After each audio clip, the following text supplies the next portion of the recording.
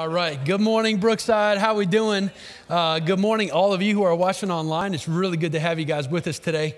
Uh, welcome to Brookside Church. We hope you enjoy your experience today, and we hope that uh, you will be blessed and encouraged by it. I'm up here with my friend and partner in ministry, Josh King. He's our youth pastor, and uh, we've been starting uh, over the period of Lent. We've been starting these prayer opportunities where we as a church can really join together and pray to prepare our hearts and our minds for worship and to fall under the authority of the Word and so forth. Um, and today. Um, is, is a little bit of a unique experience.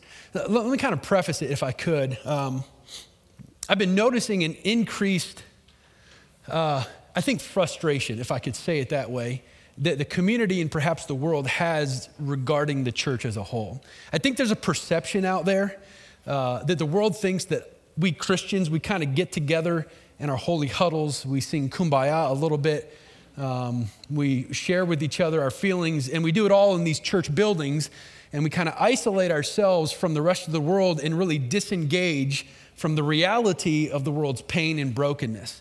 And it's not just like on an individual basis, it's kind of on a national basis too. Uh, something happened this week, um, and I'm going to have Josh talk about that in a little bit. And it happened in Atlanta, Georgia. And it's so far away, it's so easy for us to, well, stay disengaged because, well, that's not our people down there and that's not who we're around. So we can kind of disengage from it all. But part of the gospel is that as followers of Jesus, our mission field is not just Fort Wayne, it's the world.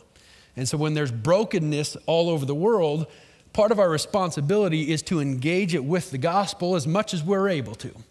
And part of that is through prayer, hence the reason that we've started this prayer opportunity. So um, Josh, I know you, you feel that same. We've had several conversations like this, but talk to us a little bit about what happened uh, this week in Atlanta and, and why it's so heavy on your heart as, as it is for so many. Yeah, so if you guys um, were in tune the news, actually, my family has just moved to Atlanta, so they are very uh, close to what happened in the situation. Um, I've also got to talk to different people, friends, family, community um, in the Asian and Pacific Islander community. Uh, and this last week, something terrific, or sorry, like horrible, horrible happened um, within that community. And if you guys don't know, the hate crimes um, and violence against Asian Americans and Pacific Islanders um, has gone up significantly um, over the past couple years. Um, one, this is an incident that is so shameful uh, and so hurtful. This is an act of terror um, against this specific community. And while the authorities say that it was sexually motivated, um, it does not discount what has happened. Uh, and we have the names of the people um, listed up on the screen. And we, we're doing this not because we're trying to do a PR stunt or we're trying to make ourselves look good, but we deeply, deeply empathize with this community. Um, I have talked to several different people in this community and they are hurting. Um, when you see yourself on the screen and you see faces, um, when you've been targeted, uh, particularly for ethnicities or whatever reasons, um, for being women, for being men, for being a minority, um, you feel that pain deeply. Um, and so, for my brothers and sisters in the Asian and Pacific Islander community, we love you. We deeply empathize with you. I am praying for you constantly. Um, we've had some conversations, I've had some conversations with people, and we don't want to negate what has happened because the gospel says that it is for all people. Um, and the kingdom of heaven is the kingdom that looks so multi ethnic, um, that is involving so many different people race, tongue, culture, creed. Um, we truly believe that here. So, um, if you guys would stand to me, I just want to pray um, for the victims and their families um, the shooter himself, because his soul um, hangs in the balance as well. And while we don't overlook his actions, um, we do realize that he did take a big part of someone's life away. He did decide to strip someone of their humanity, and he did decide to commit a sin against brothers and sisters, people um, who God has clearly said, like, you're made in my own image. So, will you guys pray with me? Dear Heavenly Father, um, we thank you so much just for who you are. Um, we thank you for the gospel of Jesus Christ, the one where it says God came down in the flesh to die for us. He went to this cross obediently for us so that we may no longer live in sin or shame or guilt, but we now can live in freedom because of what he has done for the cross. And Lord, we pray for the victims in Atlanta, God, and what they're experiencing. And I woke up at 5 a.m. this morning, couldn't get it off my, my brain, and just what has happened, how horrific it is to know that your last moments were stared down the barrel of a gun. God, we don't pick sides or we don't try to, to, to make light of this, but we fully empathize with our friends and family and community in the Asian American and Pacific Islander community God, I pray that we would have eyes to see and ears to hear and hands and feet to be open to be able to come in solidarity with this community, Father.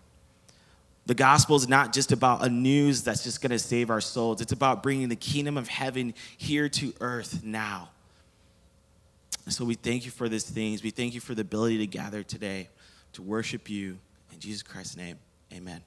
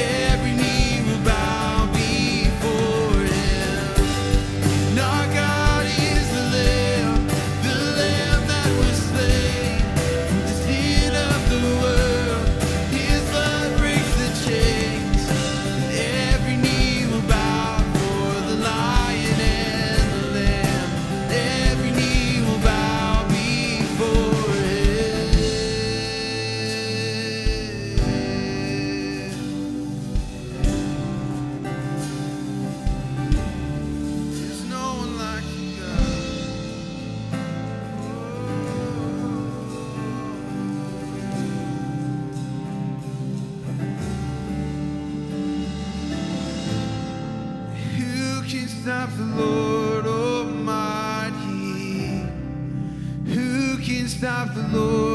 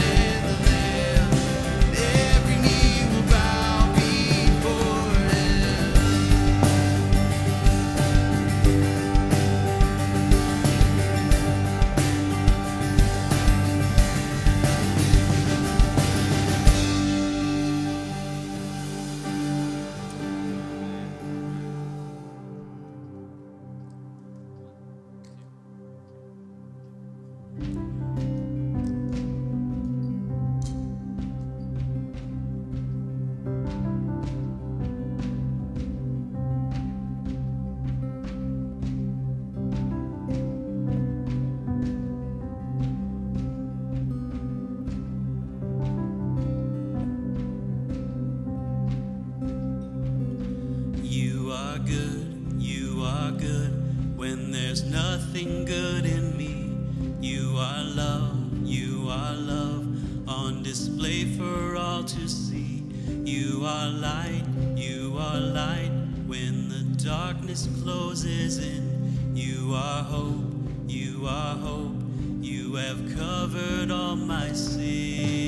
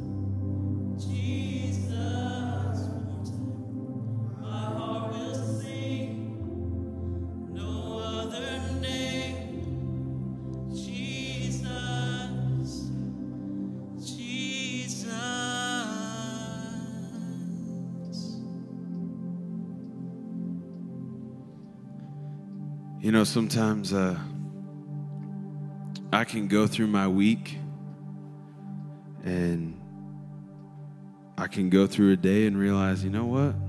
I haven't really thought about Jesus much. I don't know about you guys, but there's just some days, some weeks that we try to do it on our own. Um, this week I was reading through Deuteronomy, and it says this in chapter 4. It says, Only take care and keep your soul diligently, lest you forget the things that your eyes have seen, and lest they depart from your heart all the days of your life. And I just had to stop because I think so often as believers, we can get in this rhythm where we forget the gospel because we think the gospel is for somebody else. It's for reaching people. The gospel's for me, the gospel's for you. Let us not grow tired or weary of hearing the gospel because it is all about Jesus. Everything we do is for Jesus. And I don't want to be a person that lives through my life like the Israelites, that God provides for me one moment and the next moment I'm saying, God, do you even care about me? I want to remember the things that God has done for me. I don't want to forget those things. And I just I just want to take a moment right now and just rest. Rest in this uh, this moment and just begin to remember the things that God has done for you. Maybe you walked in this morning and you're feeling a little down, you're feeling tired, you're feeling weary. Just take a moment and just reflect on the things that God has done in your past, and He will be faithful to do today and in your future.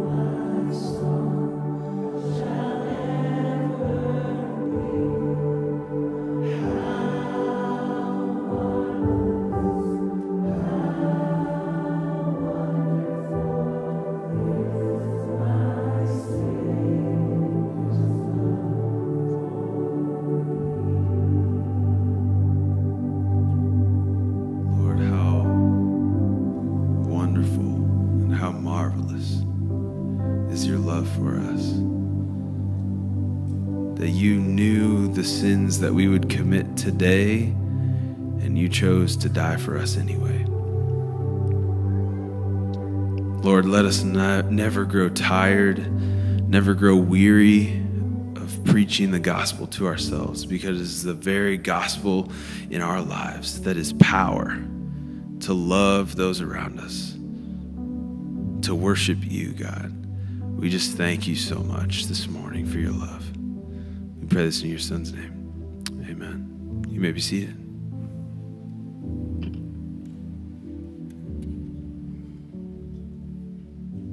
Praise God um, for his marvelous love and beauty in the midst of darkness. There's hope for us through Jesus, and we can look forward to that glorious day in the new kingdom where we get to run and dance and love freely um, with Christ um, reigning over us as the true and only King. That's such good news. I'm so pumped. Um, but we get to do this thing called church, which is a small glimpse of what we be, able to experience in eternity. And so um, we'll have to settle for this right now in our brick and mortar building uh, that looks like Mario Dungeon Level 5. But we love it. We love it. We love it. Um, but yeah, I'm so glad to be here with you guys, uh, my family, my community. Uh, and yeah, we've got a couple announcements for you guys. So, Good Friday is coming up here soon. Good Friday is coming up here soon. April 2nd. My goodness, this year is passing by so fast. And we will actually have childcare available. Um, so if your child was just born um, or is five years old, but if he's six years old or she's six years old, I'm sorry, you're going to have to take them with you. Um, but no, we will have childcare for you guys so you parents can come and enjoy and worship with us. Um, I'm super excited for this. Um, I think it's going to be really awesome. It's going to be really powerful. Um, and as we're preparing and as we're celebrating Good Friday, Easter um, is coming up too as well. We get to celebrate the death and resurrection of King Jesus. Um, and I like to call that like the Super Bowl of the Christian calendar. So that's the biggest, just biggest day of the year where we celebrate our King's resurrection. And there will be children's ministry that day. But take note, there'd only be children's ministry at 11 a.m. So if you come at 9 a.m. expecting children's ministry, you will be disappointed. So mark that down, check the calendar, check the website. Um, there will be children's ministry happening only at 11 a.m. Um, and last thing, uh, it's always weird uh, when I first started working at church to talk about giving because it's like, hey man, um, I need your money to do this thing. Uh, it's like otherwise we can't do anything. Uh, so we need your money uh, to be able to do the ministries that we get to do here and really just be able to preach the gospel and talk to people and take people out to lunch and coffee and have good conversations. And so if you feel it in your heart to give give generously. There's no cap, there's no limit, there's no minimum. It's just what you feel the Lord has placed in your heart to give. Because that's how we get to do the things that we get to do here. Um, if this is your first time here at Brookside, um, and you call, you want to call your this family your home, um, make sure you think, come see me or Eric or Yule or anybody to get connected, so that you don't have to walk um, this life alone because we want to do life and community and family with you. So um, let's go ahead and just get our hearts and minds ready for the scriptures, um, the good news of Jesus, the gospel. Um, and let's just get ready for Eric, whatever he has for us today. I'm going to pray. Uh, Father, thank you so much um, just for who you are. Um, thank you that Jesus Christ is the full revelation of God's glory that has been manifested so that we may see the invisible God face to face. And God, we thank you that we no longer have to question or, or wonder, like, man, what is God like? All we have to do is look to the icon, this man named Jesus. And Lord, I ask that we would open our hearts, that the Holy Spirit may be here and He dwells here now, that we're able to seek, hear, listen, and respond to what you have for us. We thank you for this time. In Jesus Christ's name, amen. Amen. Thank you, Josh. Appreciate that. Good morning, everybody. Um, if, if you haven't met me yet, if you're newer with us, let me just introduce myself again. My name is Eric Dubaugh, and I am very happy, as I am every week, to be the lead pastor of Brookside Church. And it really is a privilege of mine uh, to not just be a part of this church family, but to work with an incredible staff like Josh and you and the rest of the team, but also work with an incredible elder board too. I know, you, I know they're not the most upfront people. You might not even know who they are, but I want you to know uh, just in case you're wondering, the, the leadership of Brookside, I think, is in a very healthy place. And sometimes that's not true, even in churches.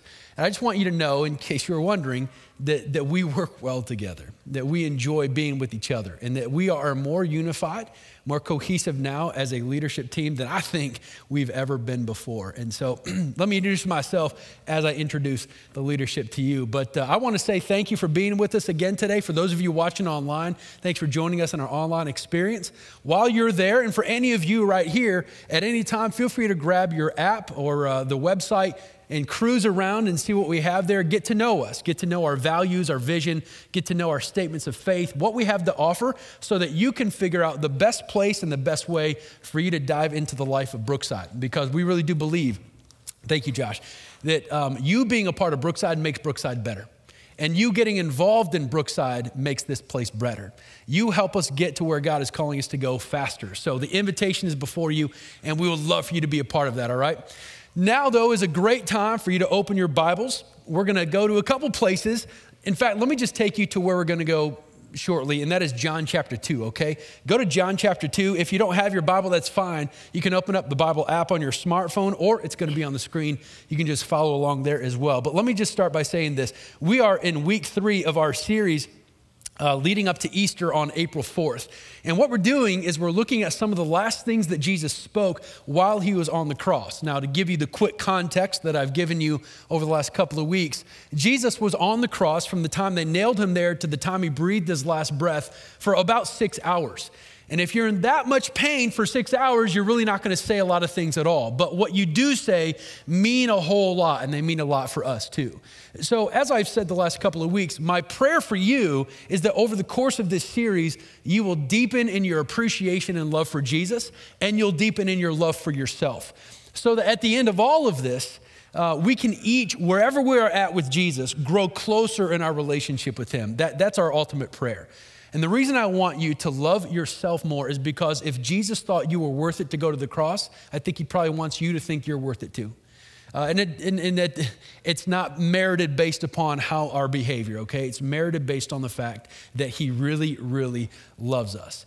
Now, if you are on your deathbed, what you say is probably going to be the most important things that you say. You're not going to talk about trivial things that don't really matter. What you're going to talk about are things that summarize who you are, your character, and talk about the most important things in your life. So if I knew I was on my deathbed, I'd tell my family how much I loved them and how proud I was of them. And then I would talk about Jesus. I'd say, He is the way, the truth, and the life. Keep your faith on Him and never let anything steal your faith away. And that's, that's really my big prayer for my family right now, for my kids. So when I look at what Jesus said, the few things that He did say, I'm asking the question all right, what does this tell me about the kind of God that we serve? What does this tell me about Jesus' nature? And then what does it tell me about myself? So, if you were with us two weeks ago when we launched this series, we looked at the first thing Jesus said. He says, Father, forgive them, for they just don't know what they're doing. And that meant a ton to me because I got to be honest with you, sometimes I don't know what I'm doing. And I'm so grateful that there's a God who gives me grace regardless of my behavior. And I'm so grateful for that. And then last week, we looked at what Jesus said to the thief right next to him. He said, Hey, I tell you the truth. I promise you today, you will be with me in paradise.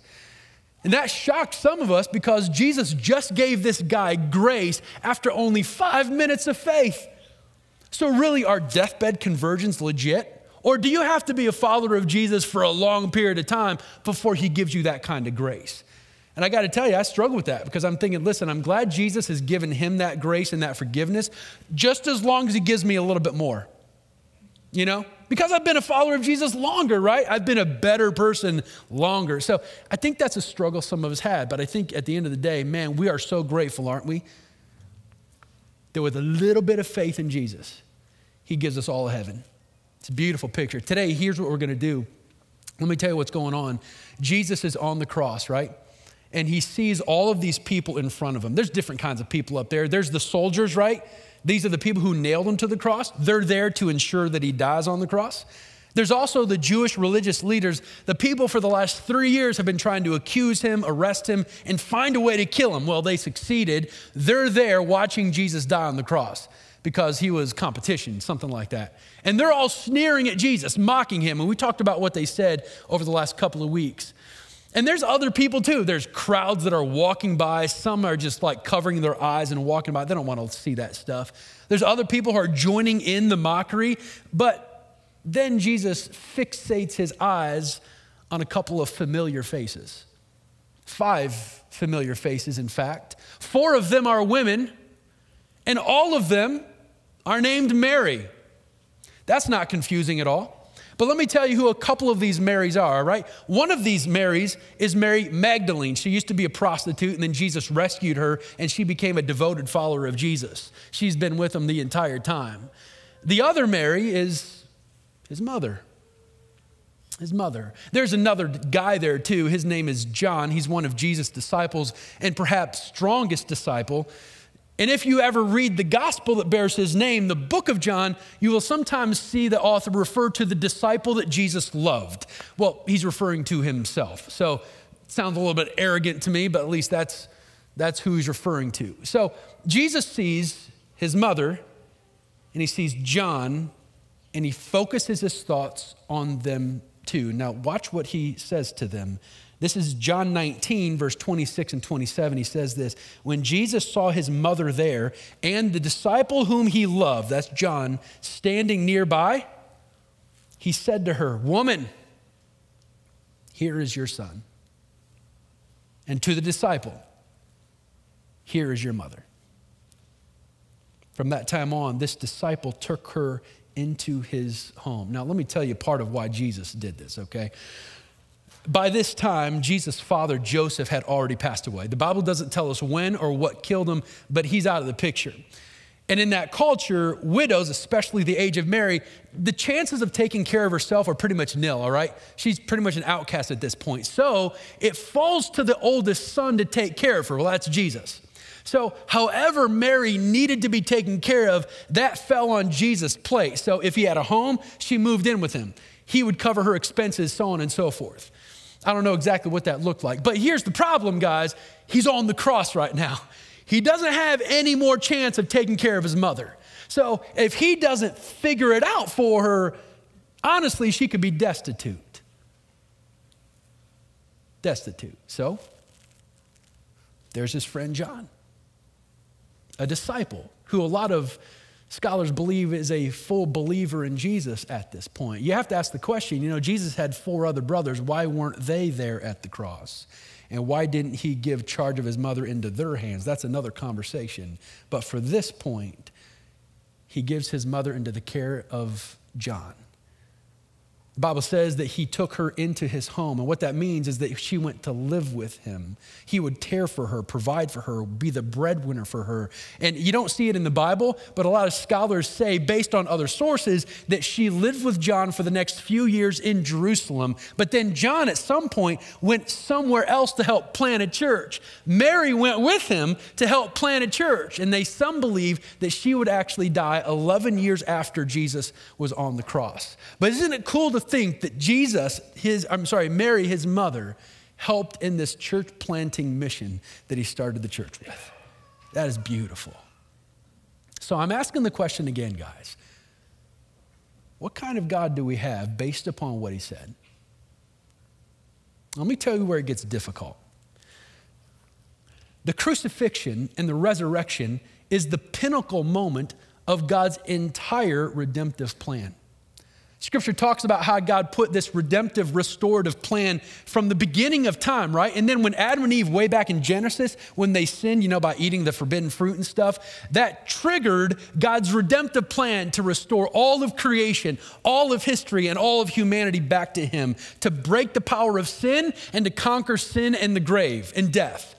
And all of that happened and was conquered on the cross and through the resurrection. So, check this out. If there were ever a moment in Jesus' life to be laser focused on this massive mission of saving the universe and restoring all of creation, this is the moment. And in all honesty, as much as he loves his mother, he's like, listen, I got to focus right here. I got to save the universe.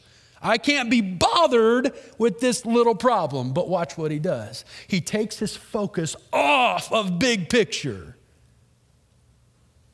and on to little problem. Man, is that important for us to know because a lot of us, we have problems, right? But in the grand scheme of things, really, how big of a deal is it, you know? I mean, I've got this interview for my first job ever, and it's at McDonald's and stuff. And really, in the grand scheme of things, it's not that huge of a deal, but it's a big deal to me. A big deal to me. And you know what? I've got this deadline, I've got this meeting, I've got this appointment, whatever it is. And you know what? Nobody else really knows about it or really cares about it. And it's honestly not that big of a deal. I'm still going to heaven if I die, right? No matter how this goes. So I wonder is God really that concerned about this little problem? Now, here's what you have to understand. I think the reason that Jesus took his focus off of this grand mission and off of what the crowds were saying, off of all the mockery of the soldiers and the Jews, and put it on Jesus is I think in that moment he fully embraced his mother's pain. Let me tell you what I mean. I don't want to in any way offend or be insensitive to my Catholic friends in the room um, but I don't see anywhere in Scripture where Mary is any more than a human mother. I don't see where she is part deity or supernatural, anything like that. I don't see where if I pray to her, then miracles will start happening in my life. And again, I don't want to be offensive in any way, but when I read about Mary in Scripture, she's a mother just like so many of you are. So when she was pregnant with Jesus in her belly, I bet you anything she couldn't sleep at night because she couldn't get comfortable, right? I bet you anything that she had morning sickness and the food that she so loved that she craved now just makes her want to puke. Some of you guys are like, what are you talking about? Listen, don't even ask a woman, okay? Just, just leave it there, all right? And I bet you when Jesus was finally born over the next couple of weeks, she didn't get a wink of sleep because he wakes up like eight times every night and needs to feed again. I mean, she's a mother. And then later on in life, when Jesus would fall down and scrape his knee, I bet you anything, she ran up to him and said, What happened? Let me take care of that, right?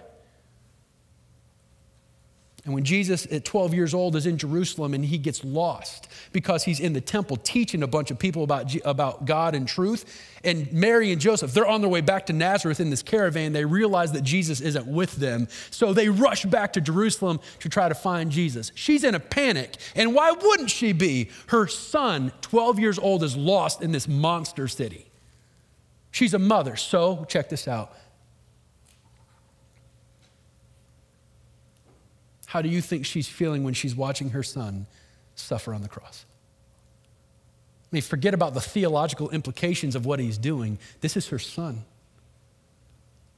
And the pain she's experiencing. I mean, as a parent, when your kids are hurting, you will do anything you can to take their place. And if there is a way that Mary could switch places with her son Jesus on the cross, she would have done it in a heartbeat. Jesus sees her pain. Watch this. He takes his focus off the grand picture and steps into her pain. And he gives her hope there.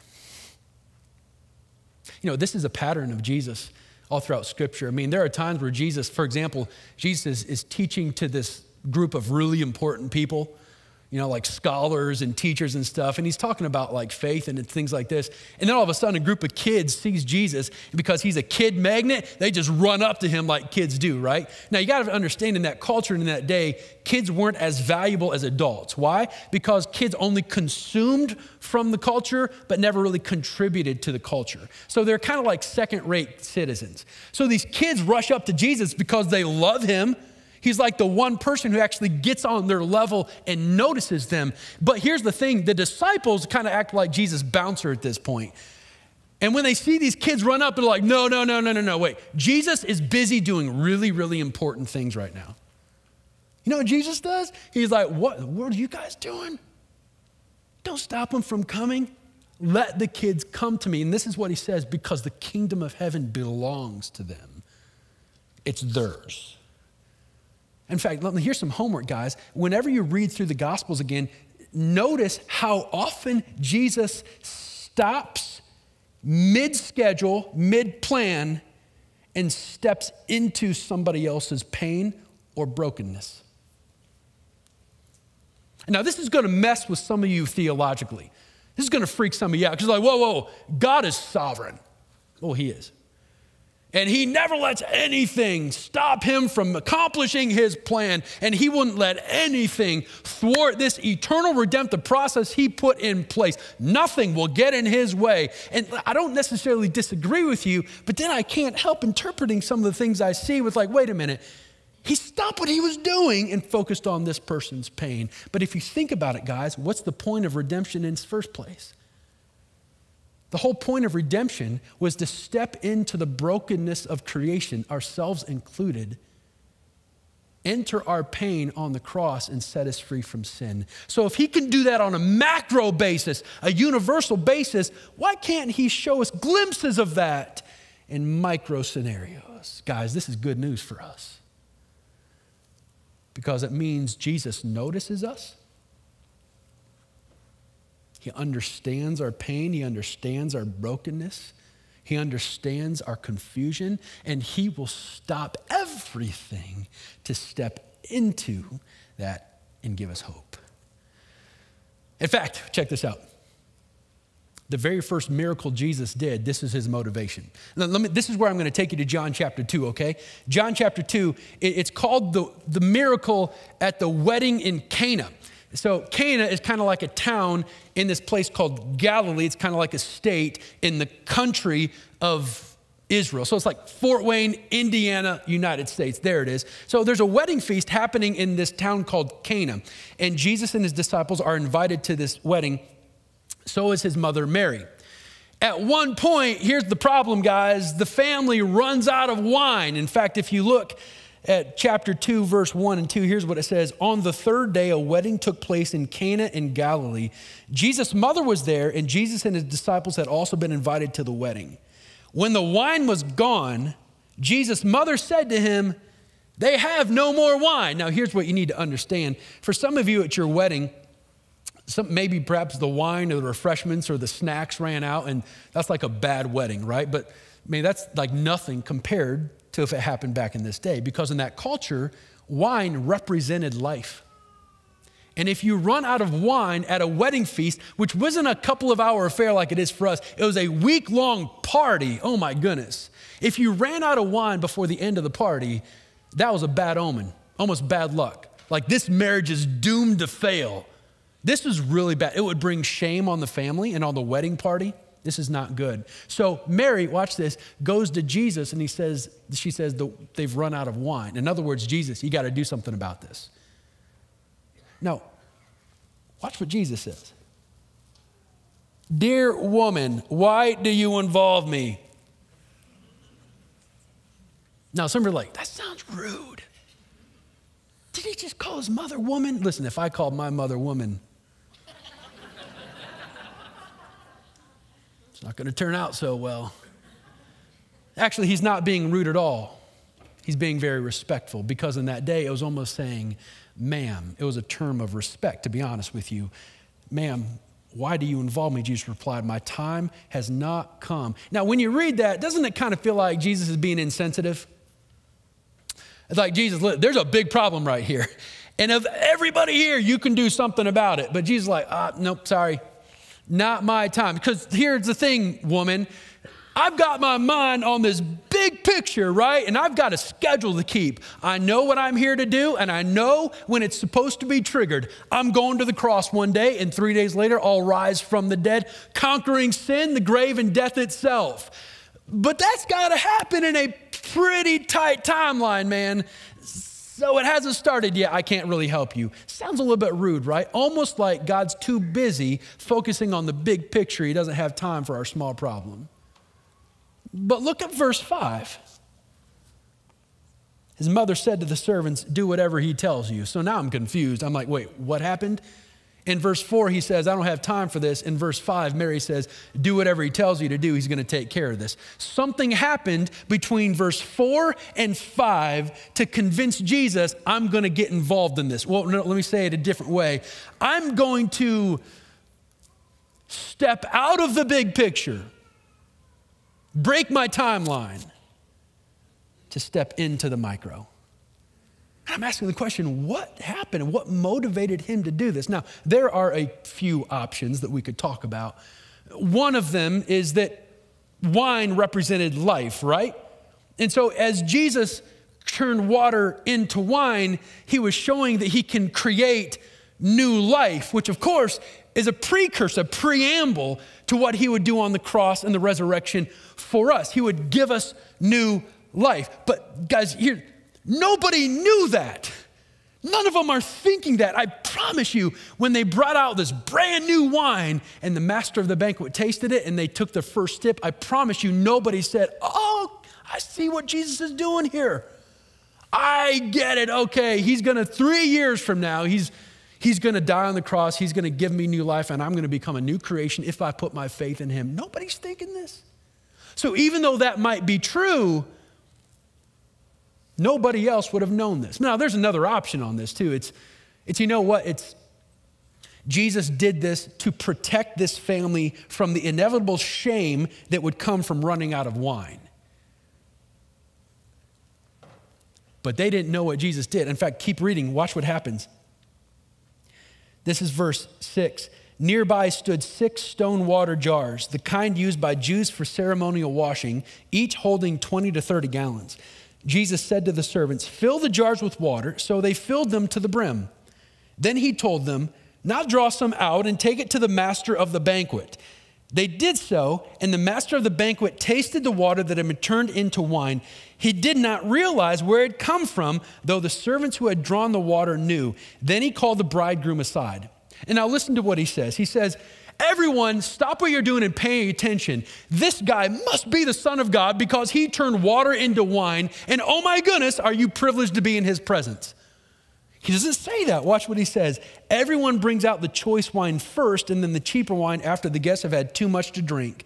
But you have saved the best till now. Watch this. The master of the banquet had no idea where the wine came from.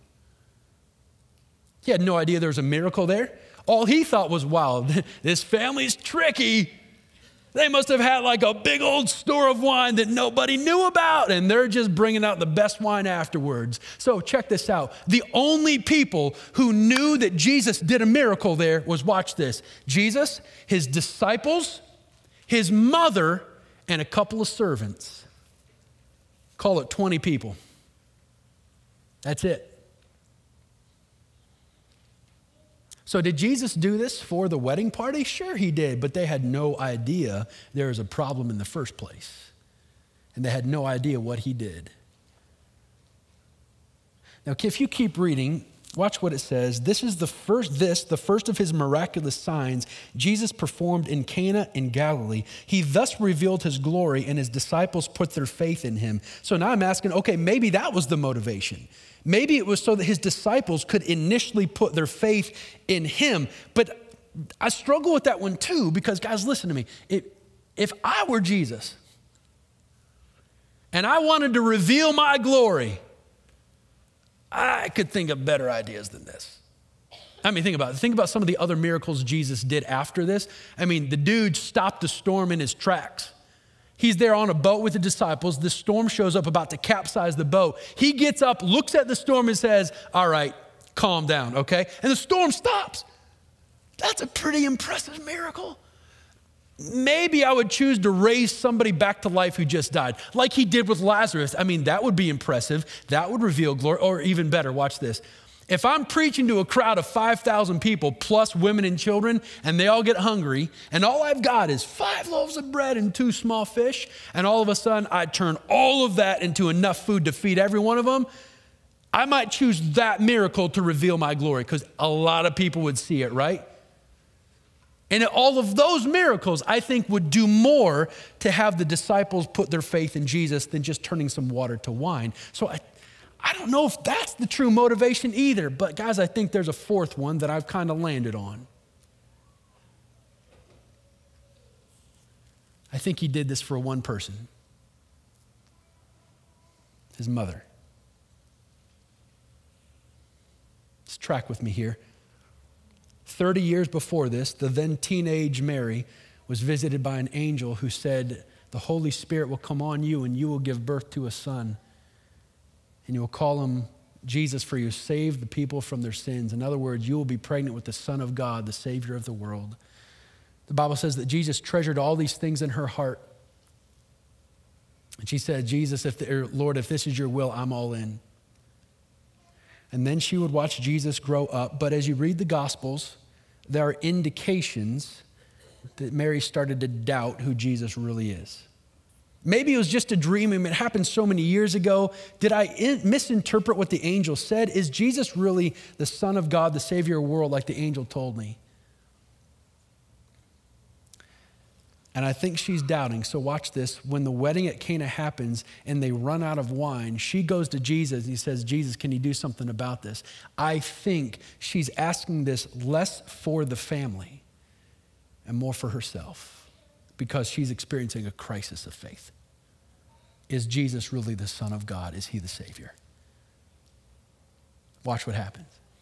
I think Jesus stepped out of his schedule and into his mother's crisis of faith for her sake. Oh man, that's good news. Uh, there's, there's a lesson in all of this, guys. It's, I think because Mary was important to Jesus, so was her problem. Because we are important to Jesus, so are our problems. Because they were important to Jesus so are their problems.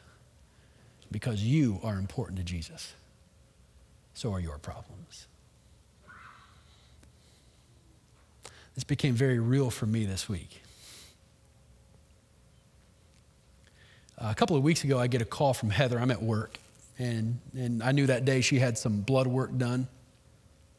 And she calls me and said, I got the, I got the call from the doctor. And I said, Oh, great. Tell me what happened. She says, Well, better that we wait till you get home. I was like, what? So I was in a meeting and I said, meeting's over. That was the longest 10 minutes uh, drive home I've ever had. So when I get home, she says, well, the doctors called and said that they saw elevated cell activity. And that freaked me out. I mean, I had visions of cancer and so on and so forth. And, and so on the notes that the doctor sent to Heather, it said, you know, it, it, we, we, we need to do a biopsy. And we need to see if what we're seeing is just a simple infection or if it's cancer. Yeah, that's the, like the worst day of my life. And so we get online and stuff, we start looking at symptoms and but thankfully the things that apparently caused this kind of cancer Heather didn't have. But I'm still freaking out. And so of course I start to pray. And a thought occurred to me. A thought occurred to me. You know, there's uh, there are so many people who have actual cancer, and man, they're suffering through it. I mean, I mean, we've been praying for Coach Davidson at Blackhawk Christian, and there's the, the battle he's going through. You know, there are people who are starving out there, and there are people who they've lost their marriage, they've lost their kids, they're stuck in an addiction. Like, man, those are really big problems. And the thought occurred to me, you know what? That's this, I mean, we don't even know if it's cancer. Maybe it's just a small infection. So the thought said, you know, maybe you shouldn't be so concerned about this. In other words, maybe you shouldn't have make it this big of a deal before God. And then I heard uh, God say, you know what? Um, uh, everyone has problems, and their problems may to you seem bigger than your problems, but this is your problem. And if you let me, I'll step into your problem and bring you hope too. So we had a, a doctor's appointment on Thursday, and they did a biopsy. And while they were looking, they found a little tiny spot. And all of a sudden, my fears jump up again. So we get online and we're like, what could this spot be? And we'll find out this week. Um, but all week we've been praying um, as you would pray. And I think when I saw that Jesus, because I'm important to him, because Heather's important to him, so is our problem.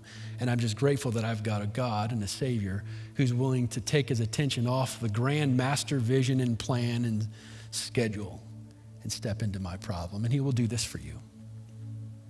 And there's a way that you can do this in a very practical way right now. Brookside has partnered with a ministry called 410 Ministries, and it's a ministry primarily to young women who are caught up in the human trafficking and sex industry, the sex slave industry.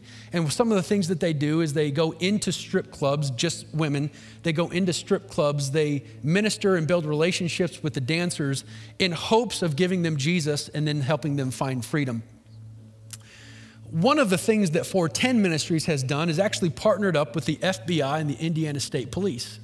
And as these women and even boys are rescued, watch this, the FBI connects them to 410 Ministries, who can then have longer term care and provision for them. And so we talked with 410 Ministries, and we said, you know, what do you need? They said, listen, here's what the FBI tells us they need. They need 17 duffel bags. These are from Vera Bradley, I think. Yeah, Vera Bradley. I don't know, is that good? Are these like expensive or something? Then he's 17 bags for 17 kids. Um, and this will be, once they are filled, the only possessions of these kids as soon as they're rescued.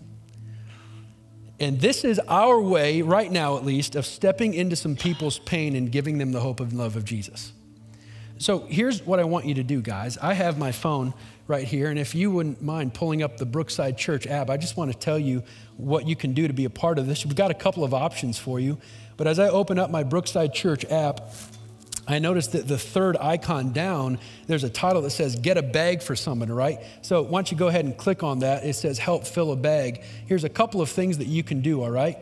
Um, you can decide to just simply donate some money so that we can help fill these bags, or you can get a list of everything that is needed in the bag. I mean, I'm not talking about like big expensive things like deodorant shampoo, a blanket, some sweatshirts, these kinds of things to fill a bag. This is what Heather and I are going to do. We're going to take our kids, and when they ask, why are you buying deodorant for someone you don't even know? Well, it's a ministry opportunity, isn't it?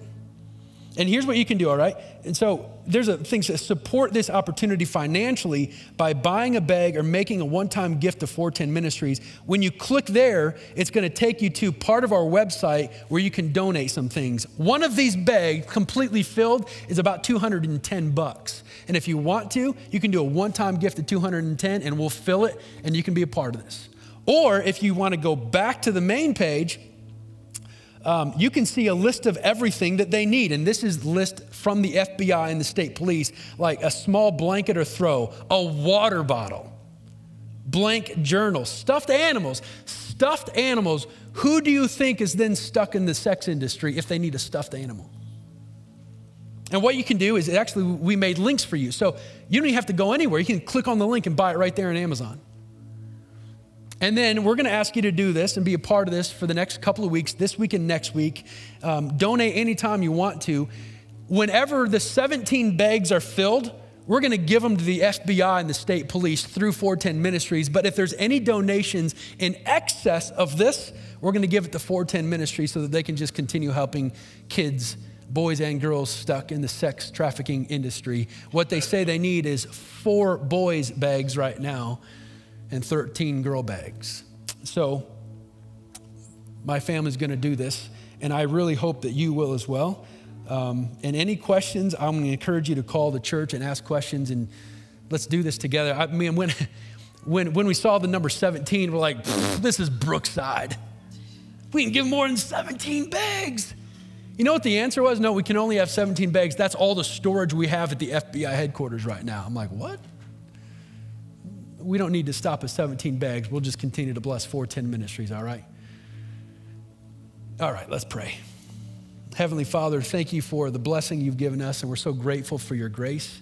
We're so grateful that you loved us so much to step into our pain, step into our brokenness, whatever that is, whatever, no matter how small it feels it is, compared to somebody else's problems or this big master plan of salvation.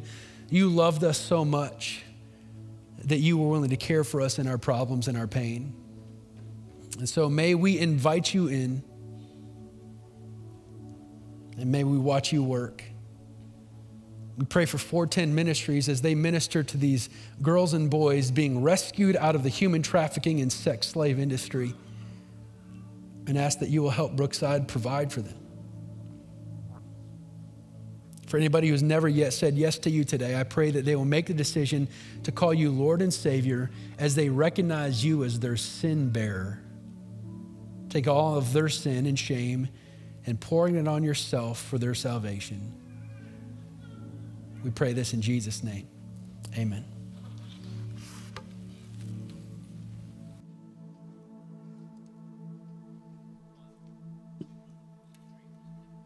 Let's stand together.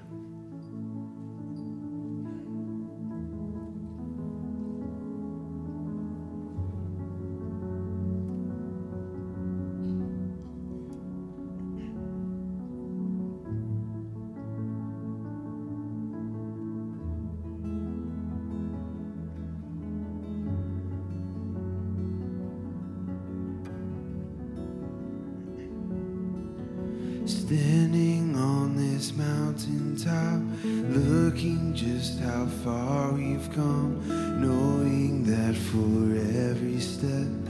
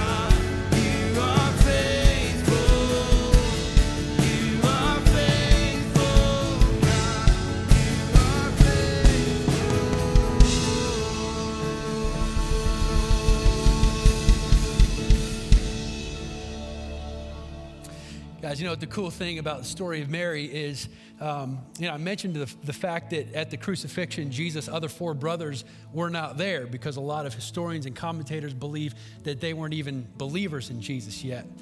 One of his brothers is named James. He will eventually write the book of James and become one of the greatest pillars of the early church. The question I'm asking is how did James go from a jealous brother who didn't believe in Jesus to being a pillar in the new faith that Jesus was Lord of? I think, I think what happened is that Mary, after Jesus died, converted her other sons to follow Jesus as Lord and Savior.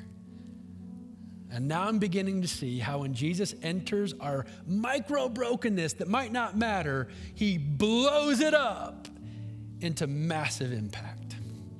And so, my prayer for you is that you will have the courage to invite Jesus into whatever pain or brokenness you have and just watch him go to work. Thank you guys for being with us. We love you guys. We can't wait to see you next week as we approach Easter. Bring your family, your friends, your neighbors. Just drive up and say, Get in the car. We're going, okay? And so we'll see you next week. Have a